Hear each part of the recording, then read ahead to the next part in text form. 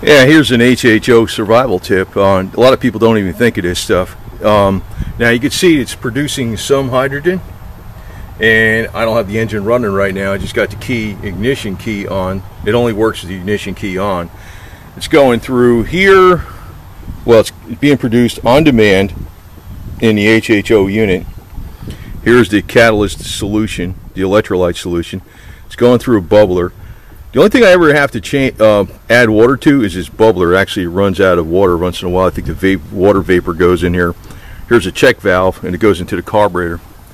Now, I noticed in the morning, if I leave this on, like I'm just leaving this on now for demonstration purposes, showing you, here's the unit bubbling, and there's also, it's not drawing too many amps, you can see here. I just have that amp gauge on here. I don't have it drawing too many amps. It's just enough to give it a little more oomph. Now, just want to tell you, like, if you have a um, computerized fuel management system with electronic ignition and um, fuel injection, this HHO probably isn't going to do a damn thing. It works pretty damn good with a carbureted car with a simple ignition system, no no computer because carburetor like like in other words, if I put a computerized um, management system on this thing, it would get much better mileage than the HHO. When I added the HHO to the simple carb setup, it did get better mileage. Maybe 10-15% better, not double, you know. And this is like, I, I, don't really have it running too radical. I can really run it a lot harder, but I don't want too much of an uh, amp draw on the battery. Now, you know, one of the things with um, uh, carburetor cars, you know, like in the wintertime, they can be a real bitch to start, right?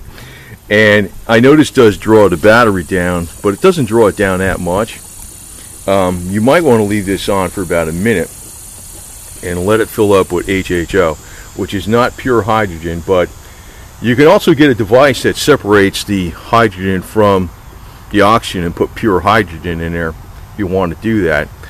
But it's a very explosive gas and it works like starting fluid. I noticed like when I leave the key on for about I don't know about 30 seconds in the morning and I pull the choke out this car starts up like boom, you know, this Jeep or whatever, the Suzuki Samurai Jimny 1300. It starts up really quick.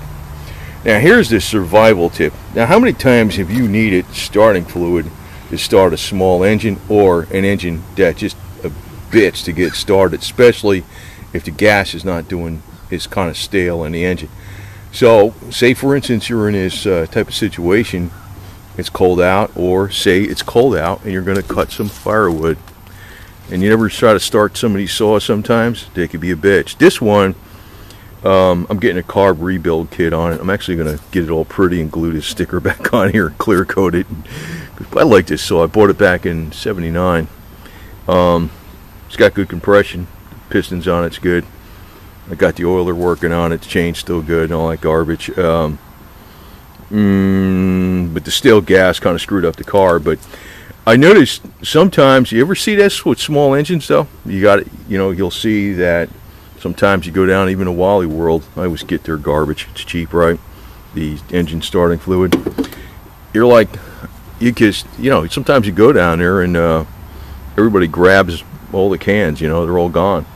Because, I mean, I do use this as a cleaner sometimes too uh, for cleaning out carbs and stuff. And you know, when you take them apart, it works better than Gumout. It's very explosive and stuff. But say, for instance, you're out there and you want to cut some firewood, and you can't get your chainsaw started because it's just it's just the way it is, right? It's just the gas in it's kind of stale. But maybe once you get it running, it'll be fine, right? Well, you pull this off and you just put it right down in here, right? Or you can make um, uh, you know a T fitting on here with a line with a with a valve you know one you know what do you call those valves? You know you switch it this way and switch it that way and it goes into the Y. And you can have a, a hose on there that could run all the way down here someplace in the front. You can run it on like a lawnmower or whatever. But more than likely the one small engine I always think of that you would need in a small a survival situation is your chainsaw and um, I'm actually picking up another one. I ordered another one on eBay, a little uh, little Mac Cat McCulloch needs to be have a carb rebuild on it. Doesn't look like I have a lot of use. I was thinking about getting a Stihl or a, a Husky or an Echo actually, but I says, you know, I like the cat on there, so got get sold on it. The meow meow cat. So anyway, um, but yeah, I was thinking about this. I says, you know, this this thing. If you're out there, like I have not tested this in like zero degree weather because I'm out here in Florida, but I noticed even in 30 degree weather, uh, 35, this thing, if you let it, if you let it sit with the key on for about 30 seconds or so, it starts up a lot faster because that hydrogen's in there. So, and this only works with ignition on. It will not work with um, your ignition off. You can't. It's got an HHO switch, but it all it has to be with the ignition on. That's how you want to have it, and you also want to have it on demand. So that thing is actually filling up with hydrogen in there. so it should start really quick. But that's a good tip because look how many times you're trying to get a car started or a small engine started when it's ice cold. And I started thinking, hey, what about firewood? Oh yeah, you can get out there with your saw and your axe. But if you got you got your fuel and your damn saw, it's like a pain in the ass to get started, and you run out of this junk.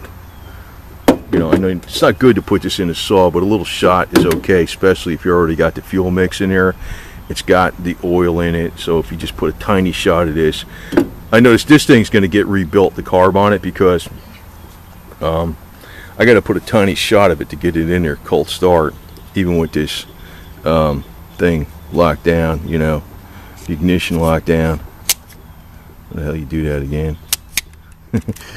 right. Yeah, like that. Used to start full choke out this and it would go boom and then you push it in halfway and it, then you restart it and it would fire, fire up. The carb needs to be rebuilt. That's what happens with the stale gas. But, um, you know, so now it's a hard starter. But see, what happens if you got a problem like that and you don't have engine starting fluid, but you got this. And this, you can you you can use this is this electrolyte it's been in here a couple years, man. I haven't really done crap to it. The only thing I keep adding the water to is the bubbler.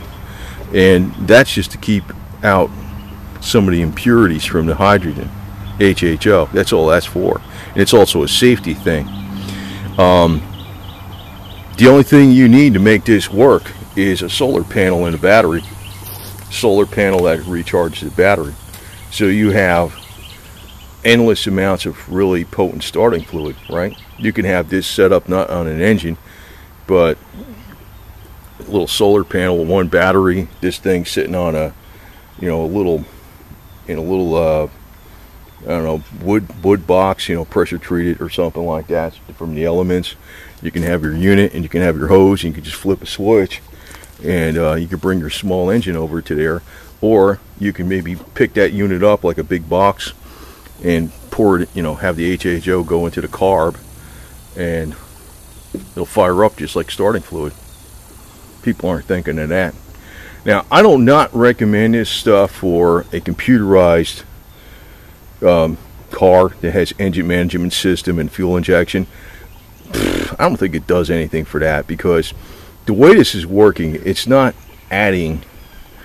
Um, it's not adding I, I know if you get the real technical with Stanley Myers or Genepax or something, yeah, they did find a way to mine the hydrogen from the uh, water real efficiently, but it's not adding. This simple setup is not adding more fuel. You're not getting more energy from.